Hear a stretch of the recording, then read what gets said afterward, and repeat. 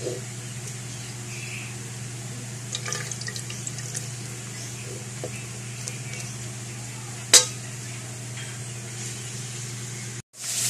what's up mga ka-chef boy? Sige-sige si mga ka-chef boy. Uh, ah, dubo po ako ng pusit.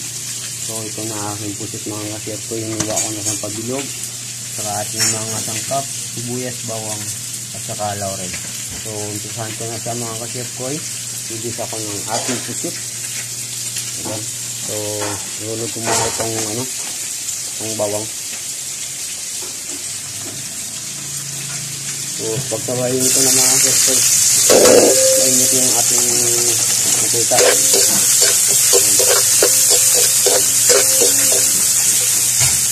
Ito na yung mga kester, pagkabayin yung bawang at ang buyat. Ganyan din yung kalabasan nun. Nabay ko na yung laurel. Ayan.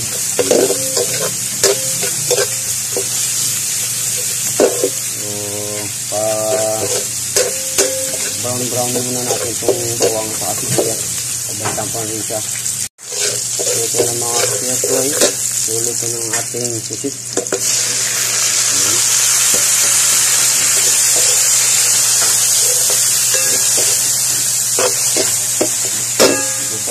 Na ng asin. Ito, huwag masyadong maraming asin. Baka malas naman. So, dagdagan ko ng bitchin. Ating bitchin. Yan lang mga chef ko. Itong pusit na ito mga chef ko. Isarap ito sa pansit pusit. Ayan. So, antayin pa natin lumabas sa kanyang itim. So, yun na. Yan ang itim mga ko. Kailangan pag nag-isa po kayo ng pusit.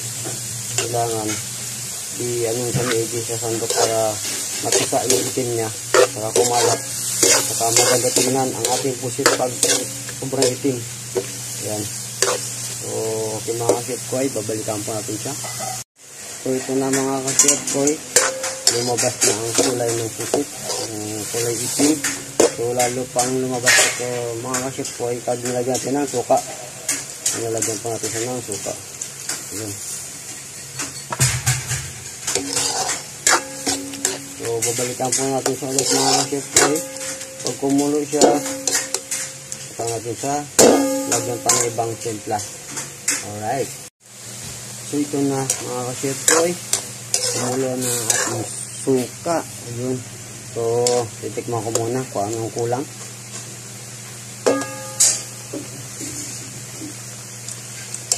Alright, okay na yung alat. So, lagyan po natin siya ng konting asukal mga ka-chef. At ito na nga mga boy luto ng ating adubong pusit. Alright, ayan. So, dito na lang mga chef koy. Sana nagustuhan nyo ang ating pagluluto sa adobong pusit. So, madali lang ito lutuin. So, hanggang dito na lang. Maraming salamat sa inyo mga chef koy sa support nyo. Chef Koy Arnel at Chef Arnel YouTube channel Chef Arnel. Salamat. God bless you all. Bagos.